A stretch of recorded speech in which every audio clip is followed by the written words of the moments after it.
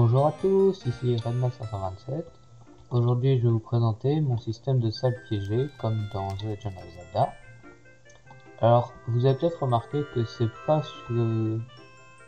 comme d'habitude, c'est-à-dire d'habitude je fais souvent sur une map vide, assez clean.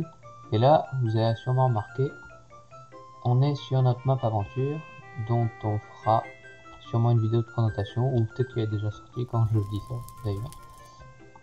Voilà, et donc ça c'est un système de command block que j'ai fait.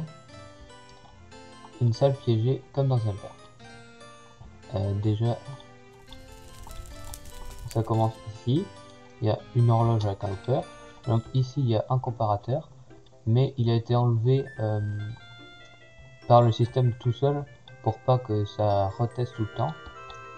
Donc la première chose que ça fait c'est tester s'il y a quelqu'un dans la salle, la personne va rentrer, et si elle est dans la salle, ensuite il y a un comparateur, donc si elle est dans la salle, donc voilà, ça c'est ce que je vous disais, ça enlève ça, ça va euh, faire apparaître un armor stand à votre position, et comme ça, c'est ce qui va permettre de vous re-TP là où vous étiez juste avant.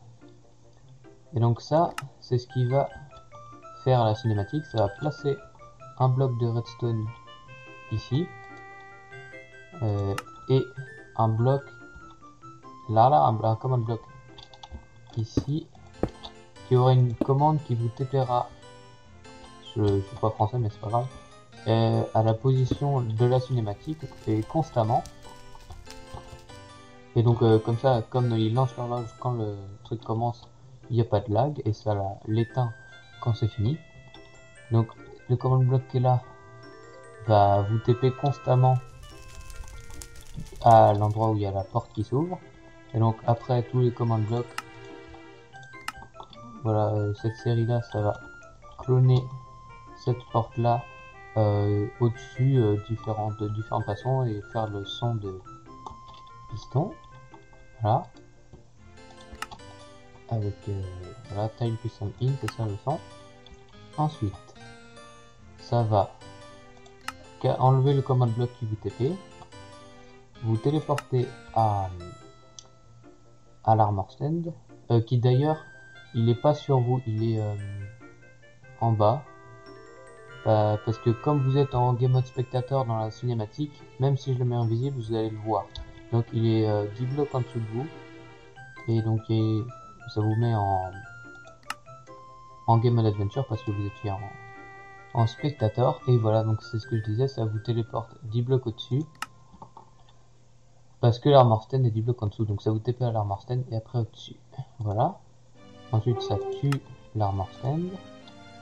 Et ça fait les particules de portail, les particules violettes, avec un délai qui est assez bien calculé, je trouve.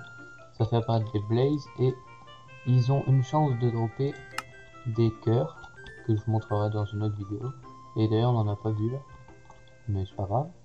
Donc, ça c'est la première partie. Et ensuite, euh, cette horloge là est toujours en train de tourner, mais ça vous TP plus. Et il y a ce command bloc là qui teste si votre score Kill Blaze est, est au moins à 2, c'est-à-dire si vous avez tué au moins 2 Blaze. Donc c'est un scoreboard euh, stat.killblaze normalement, de type stat.killblaze. Et donc, si c'est le cas, ça va reset votre scoreboard, donc comme ça vous pourrez le réutiliser. Ça va faire la même chose, c'est-à-dire faire apparaître un armor stand low à votre position. Ça va vous mettre en spectateur, voilà, délai.